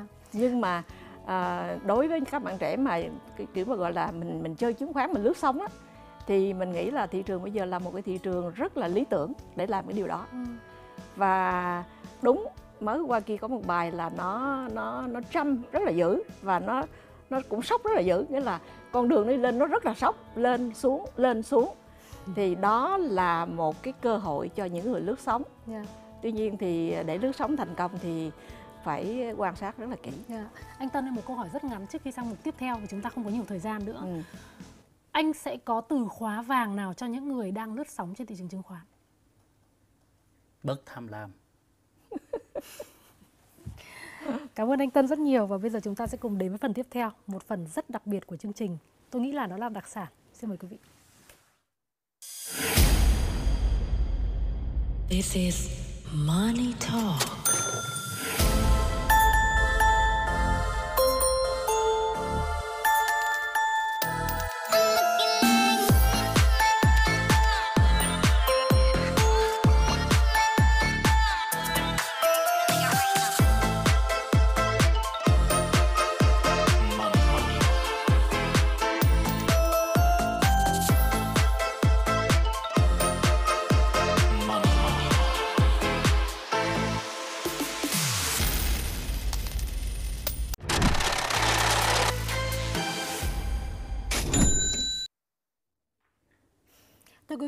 PM Gift là một phần đặc biệt của Money Talk, tự do tài chính. Bản chất đó chính là sự cân bằng giữa đồng tiền, lý trí hay là cảm xúc. Và chúng tôi sẽ đem đến một cái món quà đặc biệt cho một cái vị khán giả cũng rất đặc biệt của chương trình ngày hôm nay. À, giới thiệu với quý vị đó là bạn Nguyễn Quang Trung đang học tại khoa quản trị khách sạn Đại học VinUni. Và cũng xin giới thiệu với anh Tân và chị Mai Thanh thì bạn Quang Trung cũng là một bạn rất là uh, có đam mê trong lĩnh vực chứng khoán và đầu tư. Và ngày hôm nay thì bạn sẽ đến đây với một vai trò là một người, một nhà đầu tư thế hệ Gen Z, một nhà đầu tư trẻ và có thể bạn sẽ có một cơ hội nào đó và một món quà nào đó đến từ chương trình của chúng tôi. Món quà ở đây nhé, chúng ta có thể nghĩ là tiền cũng được hoặc chúng ta có thể nghĩ là một cơ hội cũng được, cái đó tùy vào sự tưởng tượng của quý vị. Và đó sẽ là cái yếu tố mà tôi nghĩ rằng độc đáo của chương trình này. Vậy bây giờ trước khi chúng ta đến với phần thử thách mà bạn sẽ đem đến cho à, khách mời của chúng tôi cũng như khách mời của chúng tôi đem đến cho bạn thì à, bạn sẽ đối đầu với tôi đầu tiên. Bạn sẵn sàng nhé? Dạ, Và chúng ta sẽ có một quãng thời gian cực kỳ ngắn để trả lời. Chúng ta Vâng. không có nhiều thời gian để nghĩ và để trả lời dài. Vâng. Câu hỏi đầu tiên mà tôi muốn hỏi bạn Trung Ngắn gọn thôi, phong cách đầu tư của bạn là gì? Lướt sóng ạ. Lướt sóng Câu hỏi thứ hai Chứng khoán hay chứng chỉ quỹ? Chứng khoán. Chứng à, chứng chỉ quỹ, chứng chỉ quỹ. Tại sao chứng khoán xong lại còn à chứng chỉ quỹ là sao? Bởi bởi vì là em vừa thực hiện đầu tư vừa thực hiện trading. Ok Câu thứ ba là cho tôi biết bốn mã chiếm tỷ trọng cao nhất trong danh mục đầu tư của bạn Ừ. PAO, MBB, um, VIC và BSR. hứ. Ờm, Và câu hỏi cuối cùng Bạn đang lỗ hay đang lãi? Để đang lãi ạ. Con số là bao nhiêu phần trăm? 30%. ạ. Bạn đang lãi từ 30 phần trăm Vâng. Bạn đã đầu tư bao lâu rồi? Dạ, từ năm em lớp 12 ạ. Đến bây giờ là Là khoảng 2 năm. 2 năm Vâng. Các anh chị thấy sao? Chúng ta không có nhiều thời gian nữa, cho nên là 15% câu hỏi một năm phù hợp. Phù hợp À, tôi chưa bình luận là cái danh mục đó như thế nào nhưng ờ, kinh nghiệm của tôi thì 15% một năm trên thị trường chứng khoán là một cái ờ, khoản tỷ lệ khoản lời là phù hợp. Ừm, Và có lẽ là một câu hỏi quan trọng muốn hỏi bạn Trung là khi mà bạn đến với mục ATM Gift bạn muốn bạn nhận được món quà gì? Ờm, ờ, chính ra thì em không có quá là nhiều kỳ vọng nên là em chưa có nhiều kỳ vọng nên em cũng em khá là hài lòng với tất cả mọi lựa chọn. Yeah. Vâng. Bạn có mong muốn có một món quà gì trong chương trình này hiện tại ở em thời điểm này? em mong muốn nhiều nhất là kiến thức từ hai ừm, cô chú ạ. Ừ hứ. Ờm, vậy thì bây giờ ờm, chúng ta sẽ cùng bắt đầu tham gia vào một cái thử thách là một sự lựa chọn và mục đích ờ, cái trò chơi này là ờ, để cho khán giả và chính chúng ta cũng nhận biết rất rõ về cái suy nghĩ của các thế hệ khác nhau như thế nào về câu chuyện đầu tư khác nhau như thế nào về câu chuyện của đồng tiền và trong tay tôi thì đang có một cái phong bì. Ờ, dành cho bạn. Tôi xin phép sẽ được đọc là bạn Trung bạn sẽ có cơ hội mà nhiều nhà đầu tư trẻ mơ ước trong ATM Gift ngày hôm nay. Không biết nó có nằm trong mơ ước của bạn hay không nhưng mà tôi tin rằng cái cơ hội của chương trình ngày hôm nay thì sẽ nhiều người mơ ước. À, vậy thì bây giờ à, chúng ta sẽ thử một cái trò chơi đố về mặt tâm lý nhé Dạ vâng. tâm lý chi tiêu Vâng. nếu như bạn vượt qua được điều đấy thì bạn sẽ có được món quà này Dạ. Ừ, món quà này là cái gì thì à, chúng ta sẽ dần dần bây giờ à, mình phải hơi lích kích chút nha Ờ, mọi người sẽ sẵn sàng đây ạ giúp cho em Dạ, cảm ơn anh. Bàn thì hơi nhỏ. Trên tay tôi đang có một cái um, một cái vali ạ. Và tôi sẽ cần phải mở cái vali này ra để cho mọi người nhìn thấy. Tôi có 500 triệu trên trường quay. Vâng. Và tôi đố bạn biết. Và đố luôn cả chị Mai Thanh là anh Tân sẽ chọn 500 triệu này hay là anh Tân sẽ chọn một thứ sẽ xuất hiện ngay bây giờ đó là một chiếc xe đạp màu hồng bạn Trung hãy quan sát xem là anh Tân sẽ chọn chiếc xe đạp kia hay là chọn 500 triệu Theo em nghĩ thì ờ, chú Tân sẽ chọn chiếc xe đạp nếu cái giá trị của xe đạp đó lớn hơn 500 triệu hoặc là cái khả năng sinh lời của xe đạp lớn hơn 500 triệu. vậy thì bạn đang nghiêng về Về ờ, 500 triệu. tức là chú Tân sẽ chọn 500 triệu Vâng, bởi vì như em đã nói, cái xe đạp theo em thấy thì nó không có giá trị lớn hơn 500 triệu. Đấy là Ừ. đó là theo em thấy. à, chị Mai Thanh thì sao? Chị nghĩ là anh Tân Nguyễn Sợi sẽ chọn chiếc xe đạp đó. Vì sao vì ảnh có vẻ không cần tiền. Và anh nghĩ chiếc xe đạp này thì ảnh ảnh luôn luôn anh sẽ con dốc anh đi lên. À. sao anh Tân phải đóng cái này vào không thì toàn mùi tiền thôi cái này không thể tập trung được làm việc gì luôn. Thế cái câu trả lời của anh là ai đoán chưa đúng đúng không? Vâng. Ờ, thực sự thì đây là chiếc xe đạp của anh. Oh. Và giá trị đó- của nó cũng khoảng 4 đến 500 triệu. Thương hiệu nó là Binarello là của Ý mà phần lớn các vận động viên đua xe trong giải Tour de France cũng chỉ sử dụng cỡ xe đạp như vậy. Thế thì à, cái câu trả lời là quyết định như thế nào đúng không? Vâng. Chắc chắn là chọn cái vali tiền ở thời điểm này chứ đúng không anh? Đúng thời điểm này. Vì sao? Đơn giản thôi Ờ, nếu như bạn là người có khả năng đầu tư, tôi nói riêng cho bạn nhé, thì bạn hãy nhận 500 triệu này và bạn coi như đó là một món quà trên trời rơi xuống giống như bạn trúng số. Và bạn đừng quan tâm tới nó. Và bạn dùng cái công thức thần thánh đó gọi là lãi suất kép. Bạn bỏ vào, phân nửa là cổ phiếu, phân nửa là trái phiếu thí dụ như bạn bỏ vào cái quỹ trái phiếu của chúng tôi, trung bình cái lãi suất một năm nó khoảng 90% còn đầu tư cổ phiếu thì chúng tôi cũng tính trung bình, giống như tôi cần ờ, xác nhận với bạn đó. Dù thị trường lên hay xuống thì cái quỹ đầu tư của chúng tôi cũng tương đương có khoản thu nhập cộng trừ 15% nếu chúng ta bình quân hai cái khoảng 50 50 đó lại thì chúng ta có đâu đó khoảng 12% thu nhập một năm. Và cái lãi suất kép có nghĩa là nói nôm na giải thích theo ông bà mình nói là lãi đẻ ra lãi đó. Vâng thì nếu 12% 500 triệu bạn chỉ mất khoảng đâu đó khoảng 6 tháng à, 6 năm đến 6 năm rưỡi bạn double số tiền này lên là 1 tỷ. Và nếu bạn để tiếp thêm nữa 6 tháng năm rưỡi nữa hoặc là 7 năm nhưng mà trung bình chắc 6 năm thì bạn sẽ có 2 tỷ. Và cứ như thế bạn đừng quan tâm tới nó thì đến một lúc nào đó nó là một tài sản khổng lồ. Nhưng mà vấn đề là đâu có phải lúc nào cuộc sống nó cũng màu hồng như cái áo của anh Tân đâu. Chắc chắn bởi vì à, bạn cứ tin đi cái đó luôn luôn đúng nếu như bạn sử dụng công thức lãi suất kép luôn luôn đúng cho dù thị trường lên hoặc xuống Dạ. điều đó luôn luôn đúng Dạ.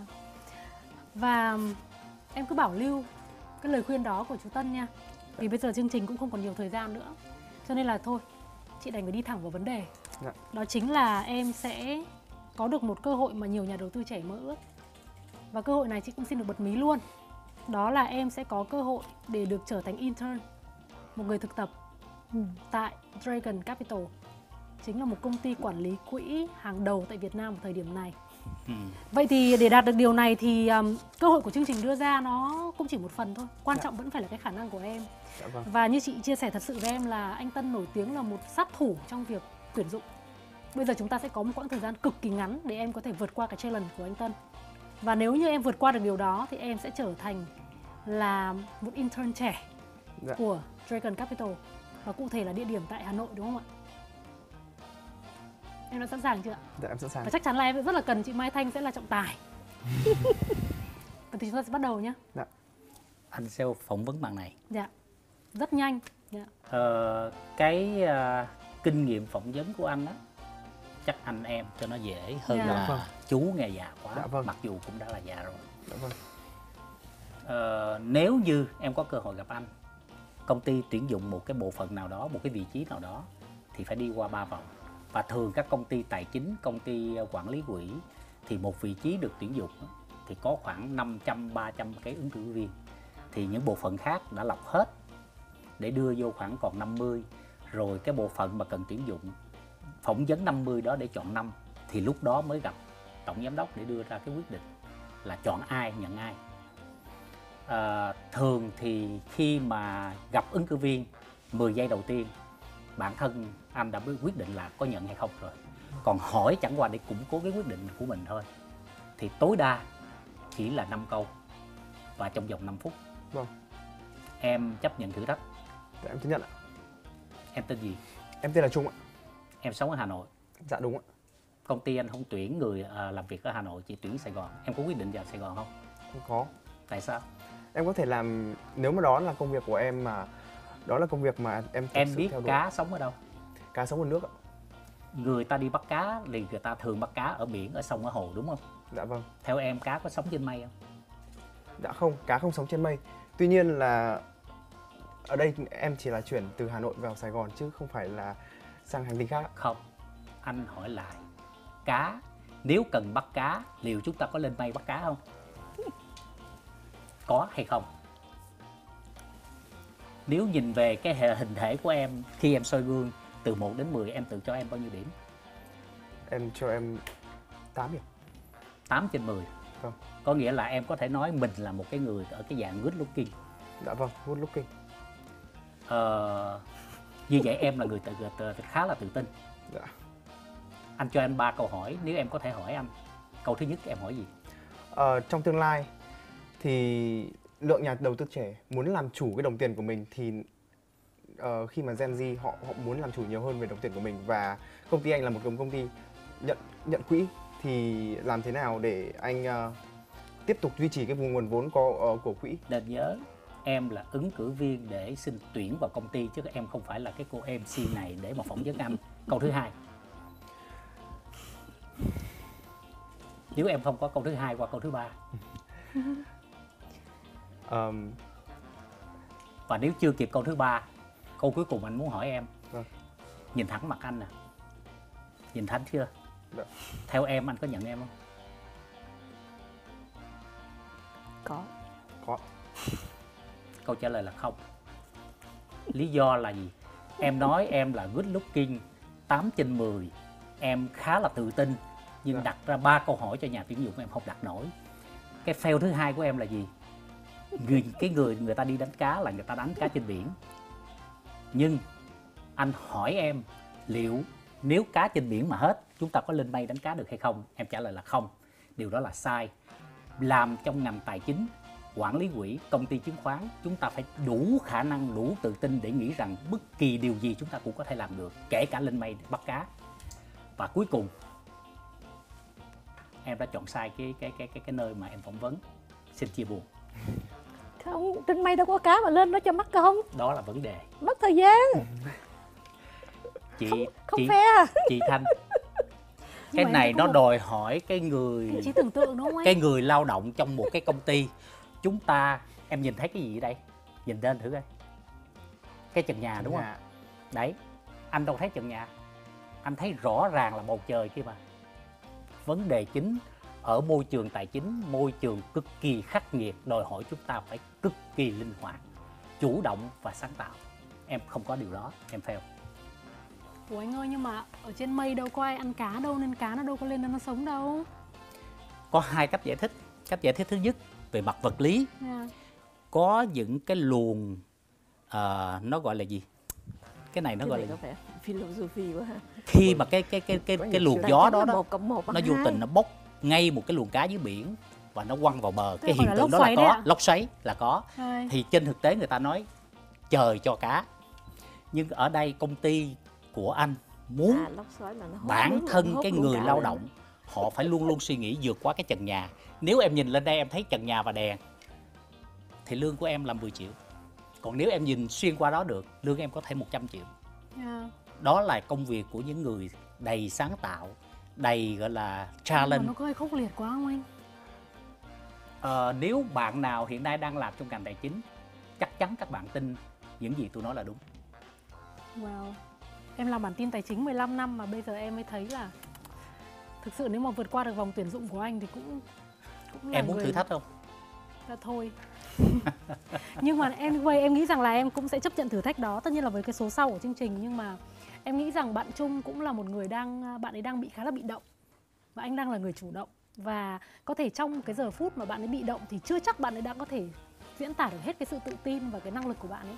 Em nghĩ rằng nên cho bạn ấy một cái opportunity cuối một cái câu hỏi cuối.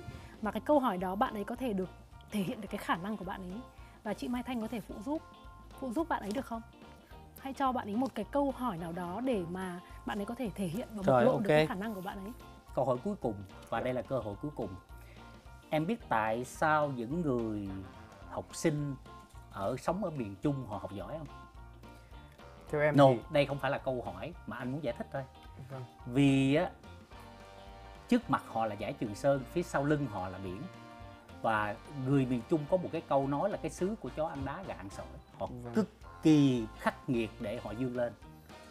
Em đang trong tình trạng đó. Lùi là rớt xuống biển anh cho em cơ hội cuối cùng. Ok? Dạ. Trong ba người này ai là người mà em cảm thấy có thể thích hợp làm việc?